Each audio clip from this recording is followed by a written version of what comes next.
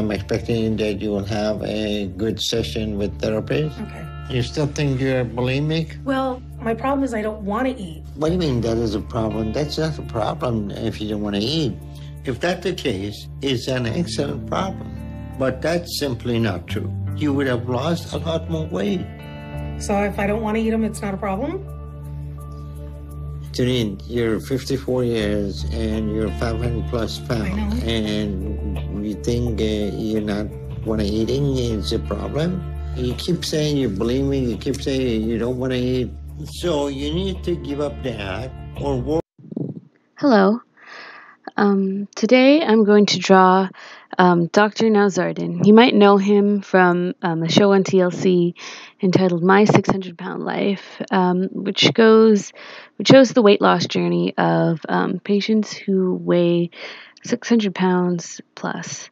Um, Dr. Now has, um, he's from Iran, but he's been working in America for um, over 40 years.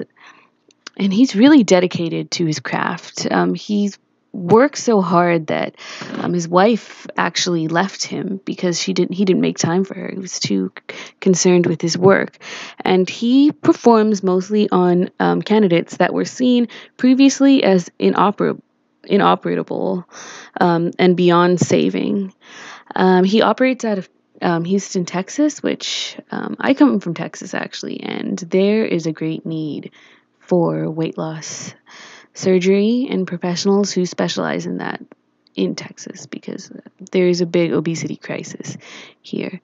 Um, you might be saying to yourself, um, hey, Boom Blatty, what is with your obsession with weight and weight loss and overweight people? Well, um, I've actually been reflecting on that lately because it, it does seem a little bit unhealthy. Um, and I'm sure if you're watching this video, you've probably seen the same in yourself. Why do I want to see overweight people, 600 pound life? Um, well, I think it's just fascinating that um, cultures like focus on weight. Um, you know, it's it can be the difference between having a good job and a good successful love life and high self-esteem. Um, just losing as little as 50 pounds for some people.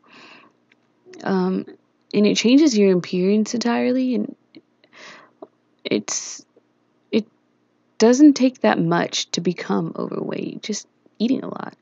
So it's it's fascinating to me from like a psychological and um, cultural i guess like anthropological standpoint um, to evaluate weight and overweight people and people's fascination with them um, so yeah, and also like I was overweight at one point in time, suffered with food addiction. I mean, I still am. I'm overweight, but I was morbidly obese.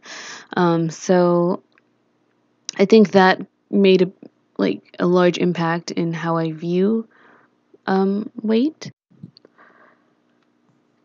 Typically, people who um, end up gaining these extreme amount of extreme amounts of weight um, suffer from food addiction, which is a serious problem. A lot of people like to joke about obesity and weight gain, but um, alcoholism and drug addiction are very similar problems. But people who are, suffer with um, those types of addictions don't wear their addiction um, on their skin. First thing you see isn't, oh, that person loves to drink. But when you see a fat person, you think, oh, that person loves to eat. Well, you might. I don't know, depending on what kind of person you are. Personally, I don't. Um, I don't really see the world that way. I'm fascinated by it, but it's not like an obsession. Um, but it's stigmatized, and um, people make a spectacle of it, just like they do with um, addiction you see videos like tweaker freaks out at Walmart or like um, watch shows like Intervention, and it turns an actual mental illness into a circus. And I can't help but watch, but maybe I should take a look at myself and think, am I really a good person for this? I don't know. I didn't mean to take it to that place, but um, I don't particularly like how this drawing came out or this painting. Um, I mean, I like it, but I feel like it's kind of muddy with the smudge tool. I was just I haven't really used GIMP, so. Um, but I mean, and you know, like this shows, I'm not making caricatures to make fun of people. I love Doctor Now, um, but I'm still going to draw him funny because that's what caricature is. I'm not being a bully. Um, I'm just, it's an art form. I mean, hell, Da Vinci um, did caricatures. So I'm not saying I'm Da Vinci, but I'm just saying, like, caric. I don't know. Um, anyway, thank you all for watching again. Um, I love you. Goodbye.